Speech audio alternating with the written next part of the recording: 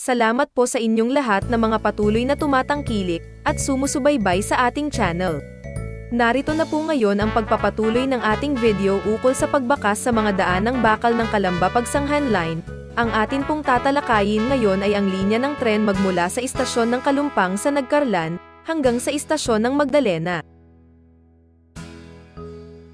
Basta kami po, ay nakikiusap po lamang sa inyo na paki-like o unlike ang aming video, at kung bago pa po kayo ay suportahan po ninyo ang aming pag-aaral sa pamamagitan ng pag-subscribe sa ating channel. Salamat po at magpatuloy na po tayo sa ating ginagawang pagbabakas. Ang makikita po ninyo ay ang soil map ng Laguna Province noong 1946, at makikita po natin ang malinaw ang linya ng riles ng tren mula sa Manaol hanggang sa istasyon ng tren sa bayan ng Magdalena.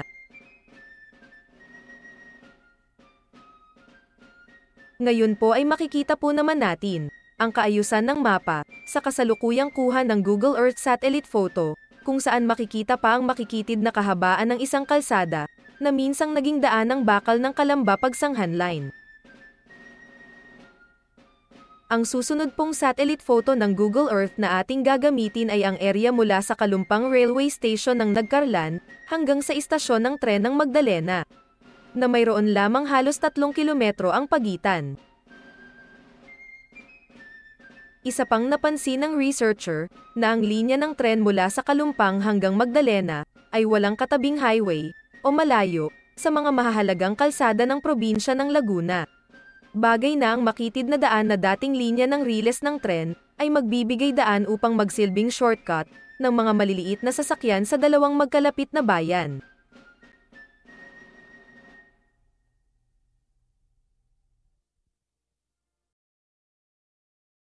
Sa pag-aaral na ito, napansin ng researcher na masyadong makitid ang kahabaan ng dating daanan ng linya ng riles ng tren, magmula sa Kalumpang hanggang sa Magdalena, at walang bahagi, sa buong kahabaan na nalitratuhan man lamang ng crew na kumukuha ng street view.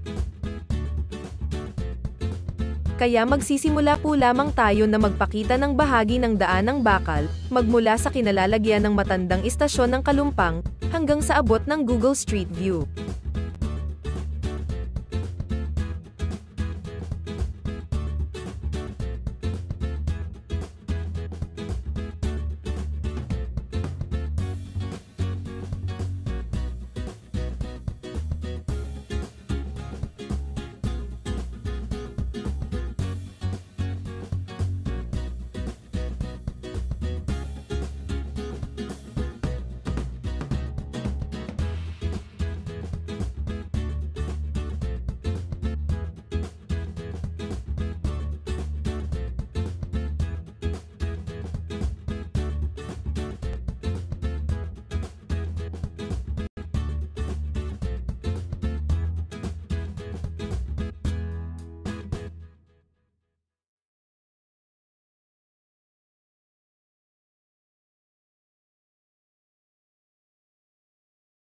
Ngayon po ay nakarating na po tayo sa istasyon ng Magdalena, subalit napakalimitado po lamang ng ating access sa area.